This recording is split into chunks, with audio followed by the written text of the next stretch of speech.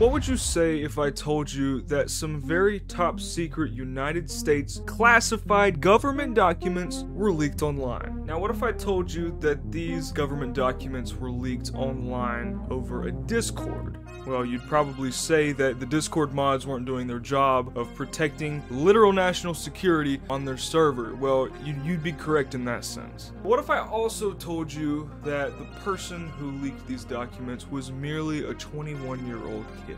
And I say kid because to have control of government documents at the age of 21, that's pretty dang young. To have that kind of access. Now, to wrap things up, what if I told you that these government documents were leaked online by a 21 year old over a Discord based around sex, racism, and just generally disgusting things like slurs and all kinds of stuff? You probably wouldn't believe me. And if I'm being honest with you, that was my exact reaction to the information when I found out about this. So let's talk about it. Hi, this is the part of it. God. Hi. This is the part of the video where I beg for your subscription and your like. Well, I'm not actually begging, but if you do enjoy the video so far, please drop a like and subscribe. Um, also, follow my Instagram. Uh, I'll put it up right here, but it's also in the description as well if you want to go follow it. But also, it's time for a new segment for the videos. It is time for my favorite comments. Here are some of my favorite comments from the most recent videos featuring John Pork is a great one. Thank you all for commenting on my videos. It really helps. Uh, but leave a comment and you'll get a shout out in the next video um, if I like it. Back to the video. Who is this 21 year old that's behind this absolutely insane government information breach? Well, the kid's name is Jack Teixeira. Teixeira is a United States Guardsman with an intelligence division in the state of Massachusetts. Massachusetts. So the kid is kind of a big deal despite only being 21 years old. It's honestly pretty impressive that he's that high up this early on. He was charged in the town that he was living in, Boston, on two counts of the violation of the United States Espionage Act. What is the Espionage Act? It is basically the unauthorized retention and transmission of national defense information uh, and the unauthorized removal and retention of classified documents. So basically, just leaking crap. You're holding that information loosely and you're not really taking into account uh, the fact that you could leak that to millions of people. What does this add up to? Well, Jack could get up to 15 years in prison, which honestly seems like a light sentence for what he's done. You know, 15 years is 15 years. I think that's, he'll be 26 by the time he gets out. I think that's enough time to learn from your mistakes. But this is where the story, it kind of it gets funny more than it does intense, at least in my opinion. He posted pictures of classified government briefings, classified documents government briefings on a little old Discord server with the amazing and just outrageous name Thug Shaker Central. You can't make this up. You can't make that. He posted classified government document on Thug Shaker Central. What is a Thug Shaker? Let's take a look.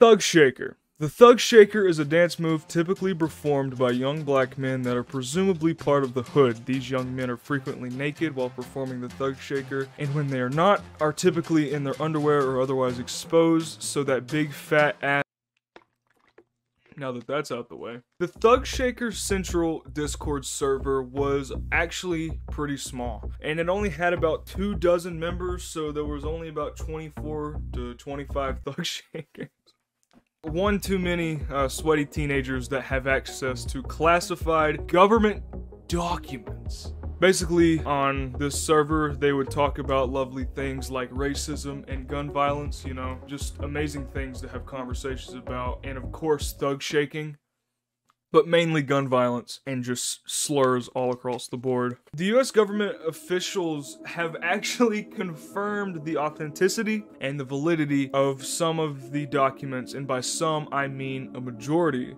of the documents. These documents basically detail strategy around the Russian war on Ukraine and other sensitive information about Canada, South Korea, Israel, Egypt, and other countries. You know, not that big of a deal, you know? A brewing World War III. If that information leaks, it's fine, I guess. Some of these documents actually date as recent as February, which is just a couple of months ago, so that's pretty recent. What's actually interesting about this is he started posting these documents back in December of 2022, so he's been at it for a couple of months now. Now, of course, with anything online, it lives and stays there forever. With that in mind, as you could guess, these documents didn't just stay in the Thugshaker Central Discord server. These documents that were leaked were then posted by another teenager on another Discord server for the YouTuber WowMao. These documents were then picked up by somebody else from his server and then taken over to the Minecraft Earth map server, which in that server was then spread to thousands of people. It was from a Minecraft Discord server. Just, just just listen to that. It was from a Minecraft Discord server that these documents were then leaked online to the general public and then intercepted by the authorities. And shut that down real quick. Discord in this story acts as the rabbit hole, and as a new teenager comes along and discovers, wow! Government documents! The hole only begins to be dug deeper and deeper and deeper. What started as a small leak to roughly 20 people has then spread to thousands and then the United States government. Now, the documents. What were they? Well, at the start of the video, I said that it was mainly Russian war documents or stuff on Canada and stuff like that. But they're actually a little more elaborate than that. There were roughly a hundred documents leaked.